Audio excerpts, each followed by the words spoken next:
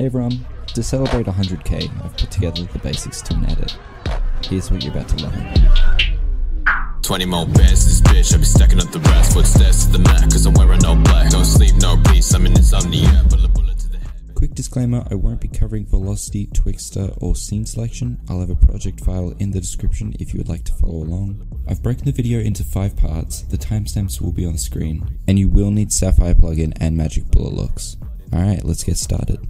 So first effect is shake. So assuming you have your clips ready, go to this search bar, type in shake, s underscore shake, just drag the default on, uh, ignore my preset, and now we're going to copy these settings. So set amplitude to 3.68, and what amplitude does is changes how much it shakes, like the distance it shakes. Frequency is how fast it shakes, so set that to 2.7.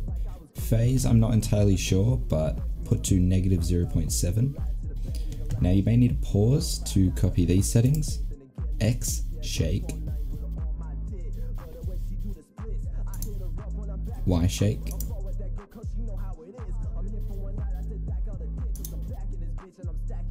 Ignore Z shake. Go to tilt shake. Finally channels. And you can get creative with this. What this does is change the colors that are present. Like so. Okay.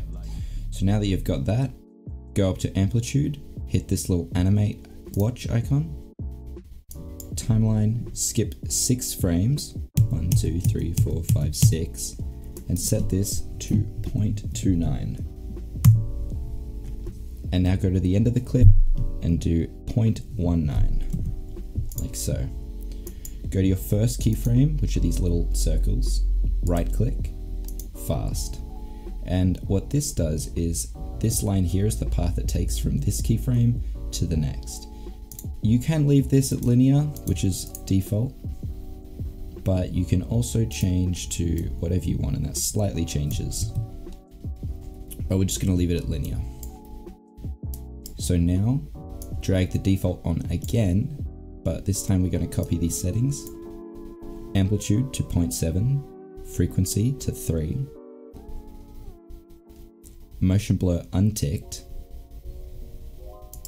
X shake, Y shake,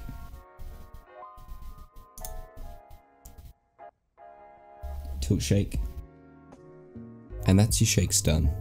Okay, so our next effect is blurs. So go to the search bar, type in linear, linear blur here, drag the default on, amount, hit animate, just bring this up. One, two, three, four, five.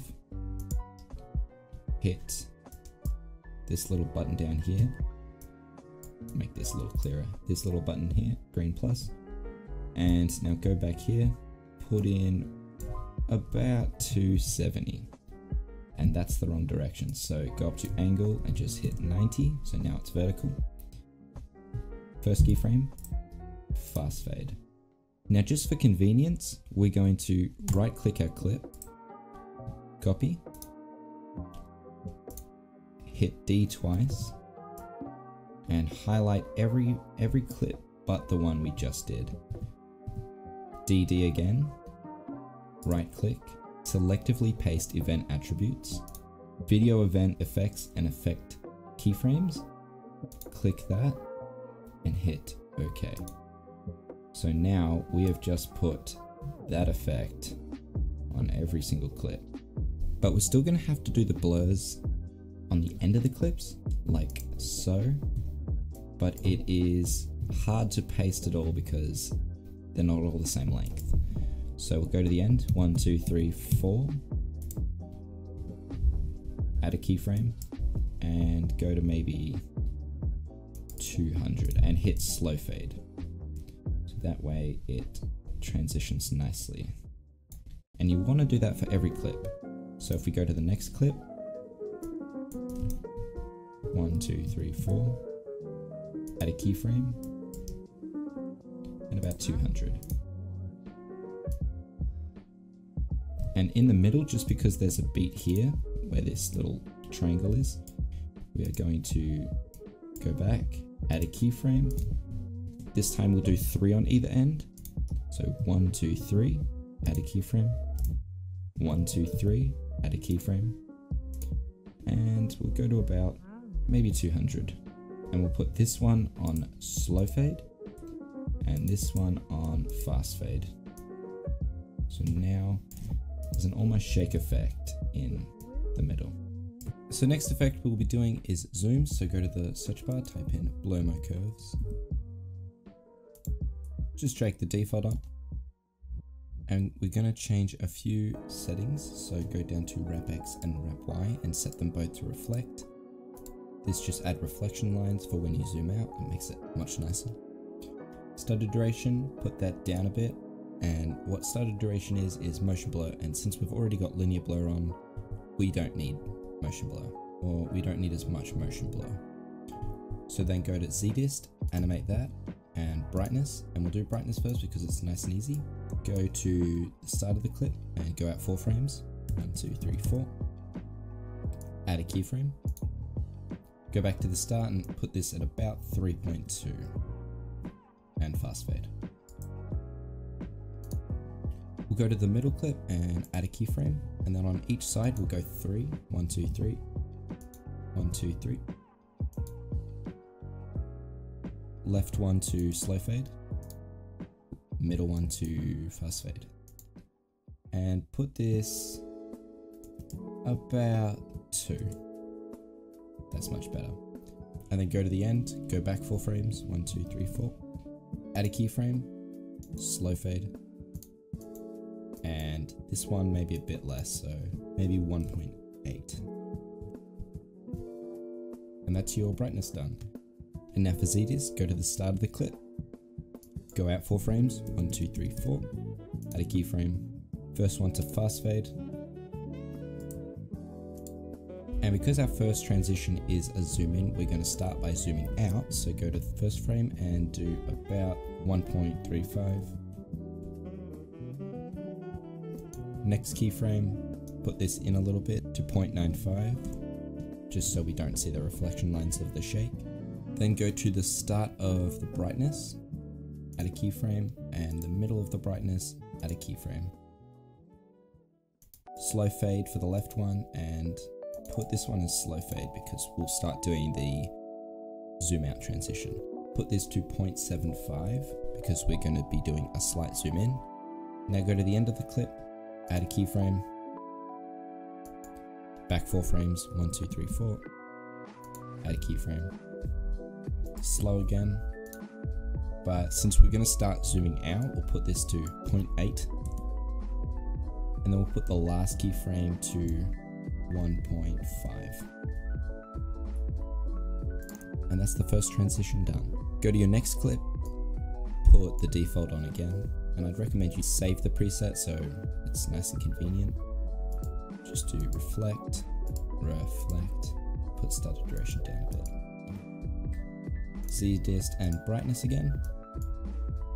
But because last transition was a zoom out, we're going to start by zooming in. So we'll go back four frames, one, two, three, four, add a keyframe, go back to the first one and put this at 0.3. Put this on fast fade, put this on fast fade 2, go to the end of the clip, back four frames, one, two, three, four, set this to 0.95, and set the end to 1.5 again. Slow fade. And I've forgotten to do this. Put this at 0.8.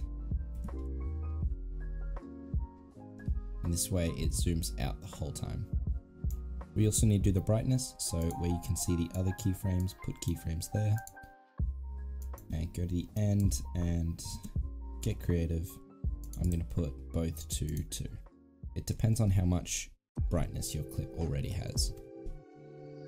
And fast fade. And now because I've shown you two zooms out, I will show you a zoom in. So first of all, I've just got a zoom out transition here, just like before. But instead, the only thing we're going to change is go to the end of the clip and simply 0.3. And that's about it. And on the other end, you just start off with a value higher than 1, so again, 1.35, and yeah, same thing. Okay, now that I've shown you zoom in and zoom out, I'm going to show you a slide, and this can go in any direction, but for this instance, it's sliding to the right. So I've got the transition into the clip, but to transition out, I want to slide to the right. So Shift X, animate that, bring this up a bit. And we're going to start our first keyframe, we're just going to drag it to the fourth, like here. Uh, put this on slow fade, add a keyframe, put this on slow fade too, and put this one at negative 0.05 and go to the end and do negative 0.6 and go to the next clip and do the inverse. So animate X. One thing to do first before you put in the value is put this on fast fade because once it's on 0.6 it's actually past its like maximum and you can't actually see the keyframe anymore so put this on fast fade first. One two three four. Add another one. And go to the fourth last frame. Add a keyframe. Put this one to fast fade. And we're going to do the opposite so put this to positive 0.05 like that. And positive 0.6 this is a slide to the right, the only thing we need to change with linear blur is from 90, put this to zero. So it's actually uh, horizontal and not vertical. So yeah, just put that at zero. And that's your slide transition. Now to make the edit a little bit more interesting, I've added a few one frame glitches and I've used very, very simple ones. And I'd recommend if you want to use them, watch another tutorial on how to get more adept ones. But essentially, we are going to click the clip we want it on, hold control and drag it above. So now you've got two of the same clip. Go to the start of the clip, one frame, split it and then delete. So you just want one frame up here and then go to search bar, invert, S underscore invert. And now you can get creative with this. Uh, I like to turn the saturation all the way down and then bring offset darks a little bit up and scale lights a little bit. I also like to use them to finish off a clip, so do the same thing, hold control, duplicate it, go to the end, delete the rest, move it across this time, and invert, get rid of the saturation, bring this down a little bit, bring this up a little bit, and that's one frame glitches. And now last but certainly not least, we're going to be doing the color correction. And for simplicity reasons, I'm just going to be putting it on the whole track. Uh, I'd highly recommend you put it on each individual clip though. That way you can get exactly what you want. Also, Magic Bullet Looks is very heavy, so I recommend you render the whole video and then put the CC on separately, okay? But we're going to go search bar, just type in Magic, Ignore all these other ones and ignore all my presets. Default onto the track so everything on the track will be affected. Go to edit. And so this will be the screen you're presented with. You've got your preview, you've got presets, and the first few are ones that I've downloaded, but there's tons of ones you can use if you say want this one. And then it shows you all these so you can learn from. What I'm going to show you is a very generalized one. This should work for most clips, but not definitely all of them. So in subject, you want curves. Curves is almost always used. Drag this down and this up. You want a bit of an S, maybe a bit more, depending on how strong you want it. So a little curve like that. That's the typical shape you want. Then we'll go pop, and this just makes it stand out a little bit. Okay, next one I'm going to add is in matte and it's diffusion and it's just to add a little bit of a glow, but we don't want it quite that big. So, and you can toggle them off on and off here to see what it looks like. I think that looks alright. Lens, we're going to do edge soft and this just does like a vignette of blur. So if you look closely, it just blurs it a little bit and that just puts your subject or the main thing into a bit more focus and you can change all the settings up here. And now the last one I'm going to be putting on is in post, it's this one, just put it there. And this essentially does RGB, so if you do it a lot, it does, it just warps the colors. But we don't want it that big, so maybe a bit here, and I want to like a greeny one. So you can get a little preview here, like that. I think that looks good. A few more effects that I'd recommend is in post, ranged HSL, and essentially what this does is you can uh, change the saturation, hue, and lightness of specific colors. So if I wanted blue very high or if I wanted no blue, I'd turn down blue and cyan, and now there is no blue or cyan in the picture. Or if I wanted to change the color of Sonic to that color whatnot. Also another one that I know Scout uses a lot, I think normally he animates this, so he doesn't necessarily put it in um, Magic Bullet looks like this, but it's film grain. And this just adds, you wouldn't guess it, film grain. I like to turn color off, and it's just, I don't know, a little texture. I've also just remembered that I need to add haze flare. And this just does a little bit of a flare, but I don't want it that bright. I want it nice and subtle. I think that's good for color correction.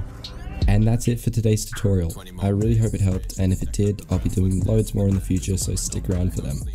Anyway, thanks for watching, see ya.